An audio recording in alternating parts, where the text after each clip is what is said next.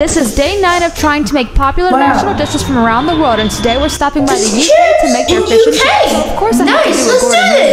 starting with the beer batter. So I add flour, curry powder, and some beer. I'm using Miller Lite. Absolutely disgusting. Anyways, I'm mixing that up and letting it sit for many, many hours. Now we prep the fish. Lord Ramsay prefers cod, but my Whole Foods only had half of it for the day, so we must make do. Then you dump the fish in the flour and shake off the oh. excess, give it a good smack, and sink that fish into the batter like the Titanic. Oh. Beautiful. Now we add it into the oil facing away from you, and Ramsay says it needs to be a shallow fry. Do not deep fry this fish. Flip when it's golden brown, and wow, that is perfection. For our chips, we shallow fry 3 minutes Let's take them out, then stick them right back in until crispy and soft on the inside. And can we just take a moment for this plating, please? this was so crispity, crunchity, take away who. I honestly feel like this would be